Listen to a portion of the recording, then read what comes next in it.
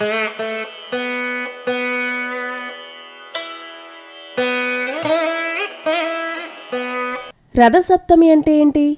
దాని ప్రాముఖ్యత ఏమిటి?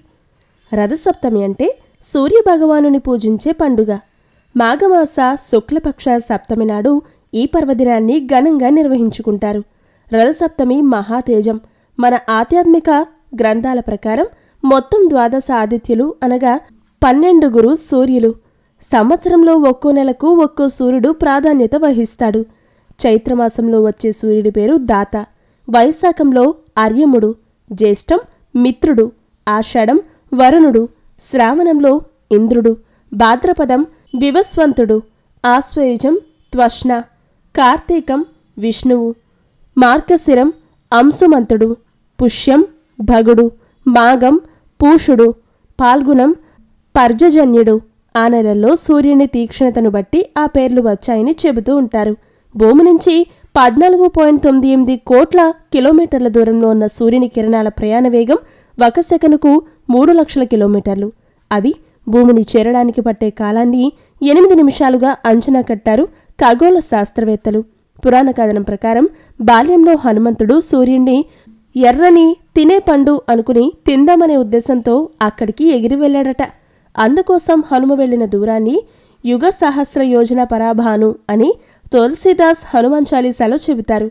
దీని లెక్కగడితే యుగం పన్నెండు వేల ఏళ్ళు సహస్రం వెయ్యి ఏళ్ళు యోజనం ఎనిమిదేళ్ళు మైలు ఒకటి పాయింట్ ఆరు కిలోమీటర్లు కలిపి దాదాపు పదిహేను కోట్ల కిలోమీటర్లు.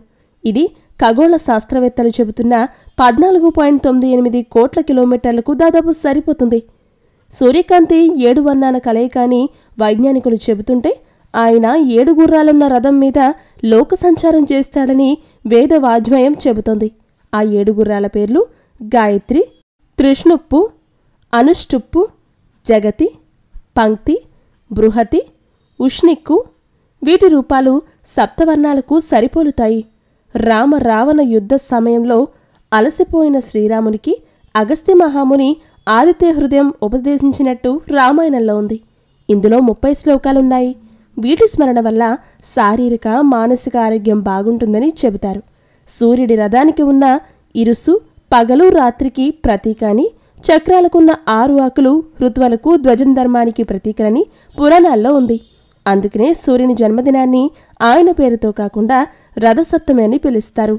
ఈ రోజు నుండి ఆదిత్యుని శక్తి భూమికి పుష్కలంగా లభిస్తుంది.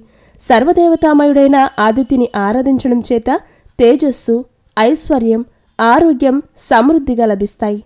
ఈరోజు సూర్యోదయ స్థానంతో సప్తజన్మల పాపాలు నశించి రోగము శోకము వంటి ఇబ్బందులు తొలగుతాయి.